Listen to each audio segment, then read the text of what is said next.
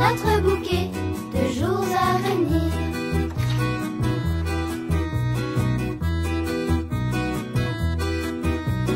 Bonne et heureuse année, l'heure des résolutions vient de sonner. Et si chacun y met un peu du sien, tout peut changer avec trois fois rien. Bonne et heureuse année, et surtout n'oubliez